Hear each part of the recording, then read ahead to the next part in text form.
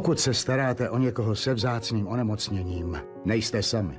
Existuje přes 6 tisíc vzácných onemocnění. Většina se nedá vyléčit. Mnozí pacienti navždy zůstanou na někom závislí. Potřebují neustálou péči, chvíle plné lásky, chvíle plné blízkosti, obyčejné chvíle. Každodenní život je plný obyčejných chvil, ale existují i výjimečné okamžiky a výjimečné dny. Dnešek je výjimečný. Ano, už po deváté se v Evropě poslední únorový den připomíná jako den vzácných onemocnění. Vzácná onemocnění jsou komplexní, převážně dědičná onemocnění. Postihují pět asi z deseti tisíc obyvatel a způsobují 8% všech úmrtí v Evropské unii. K boji proti vzácným onemocněním jsou vyvíjena léčiva, známá jako Orphan Drugs. Za posledních 10 let bylo vyvinuto 230 takových léků. Aktuálně je ve vývoji dalších 450.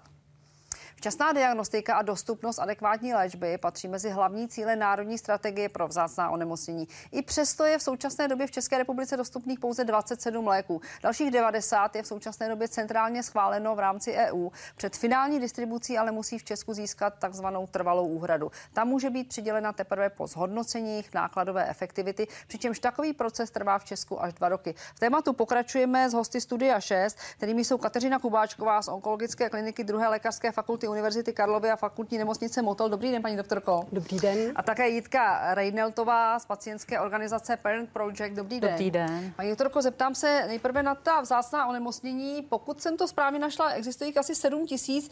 Které z nich se ale přesto vyskytují třeba nejčastěji? Eh, těch nemocí je opravdu velké množství. My přesné číslo nevíme, mluví se o 6 až 8 tisíc a s tím, jak pokračují znalosti ve vědě, tak jsou diagnostikovány nové choroby. Mezi ty nejčastější patří především nádorová onemocnění, která představují 20% všech nádorů, dětské nádory.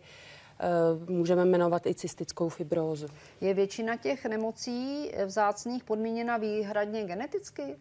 Mluví se asi o 80%, které mají genetický základ, ale u mnohých tu příčinu neznáme a proto je také tak obtížné je léčit. V té souvislosti se právě chci zeptat, na 5% zásných onemocnění existuje léčba, tak vysvětlete, z jakých důvodů, z jakých všech důvodů je obtížné vlastně hledat léky. Eh, jak jsem řekla, tím hlavním důvodem je, že neznáme podklady toho onemocnění, že vlastně nevíme správně, jak léčit příčinu té choroby. Eh, dalším faktorem bylo, že farmaceutický průmysl neměl zájem vyvíjet léky pro takovou marginální okrajovou skupinu pacientů eh, zcela z prostého ekonomického důvodu, protože jim nebyla zaručena návratnost investic. A tady, myslím, byl velký krok učiněn dopředu na, ve všech členských státech v Evropě a to přijetím nařízení, které definovalo pojem léku pro vzácná onemocnění a vzácných eh, chorob a s tím, že dodávalo i nabízelo pobídky farmaceutickému průmyslu a tou největší pobídkou byla desetiletá exkluzivita na trhu schváleného léku.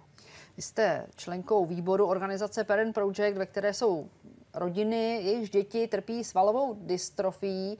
Eh, jak je to důležité, že se tyto rodiny potkávají?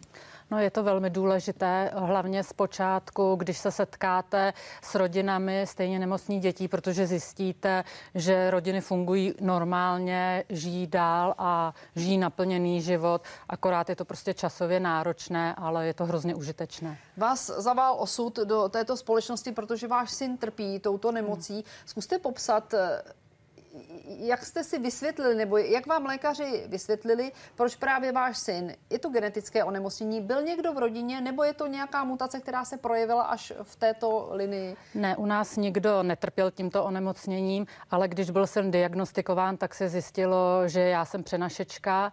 Takže o to to bylo složitější na začátku se s onemocněním vyrovnat. Ale člověk musí žít dál, takže tak tímto onemocněním trpí výhradně chlapci. Co se děje v těle pacienta s tímto onemocněním? Eh, dochází k poruše vývoje svalů, eh, to znamená, je zhoršená hybnost, je nedostatečný vývoj a ten člověk je trvale odkázán na péči svého okolí. A proč tou eh, svalovou dystrofí trpí pouze chlapci? Protože je to vázáno na specifický gen, který se exprimuje jenom v té mužské populaci. Kdybyste zjistili, jak se to projevilo, že je syn takto nemocný? Syn byl diagnostikován zcela náhodou ve třech měsících eh, z krevních testů. Jinak dosud nemá žádné výrazné potíže, protože my od těch třech měsíců každý den cvičíme, rehabilitujeme, chodíme plavat, jezdíme do lázní, takže ta každodenní práce se vyplácí na jeho dobrém stavu. E, bere nějaké léky? Výživové doplňky pouze.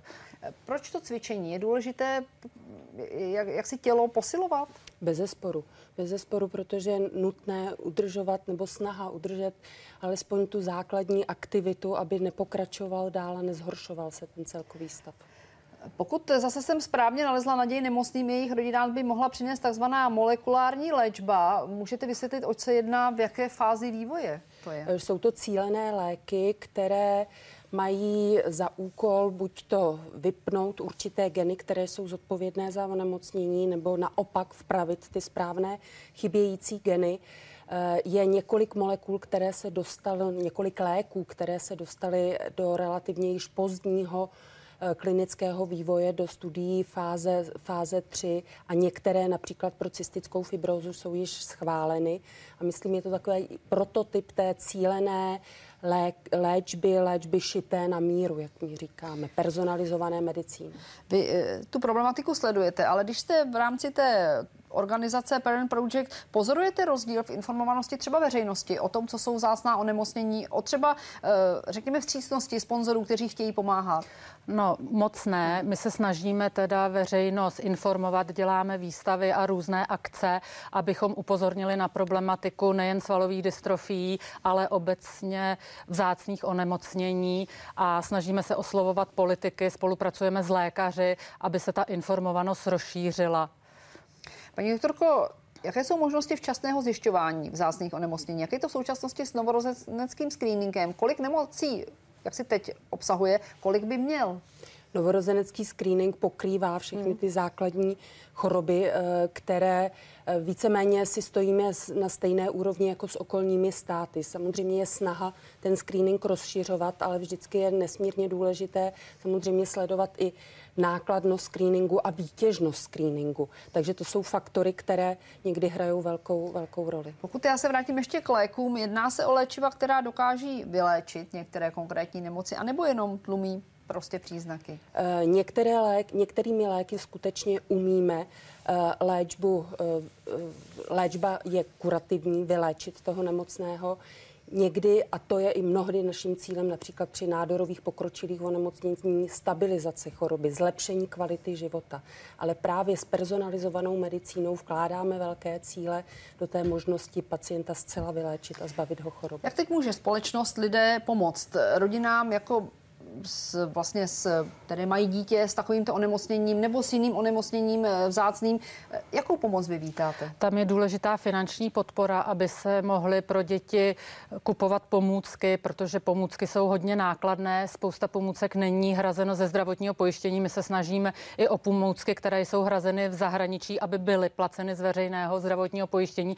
Děláme vlastní takovou menší klinickou studii, třeba aby jsme ukázali na užitečnost pomůcky kašlacího asistenta což se teda velmi osvědčilo, protože chlapci, kteří ho používali, nebyli tuhle zimu ani jednou hospitalizováni, což je výjimečné. A tak asi ty, ty finanční prostředky, to je asi nejzásadnější a vůbec taková tolerance společnosti k handicapovaným, to je asi zásadní. Já vám moc děkuji oběma, že jste byli našimi hosty a samozřejmě přeju hodně štěstí. Díky. Děkujeme.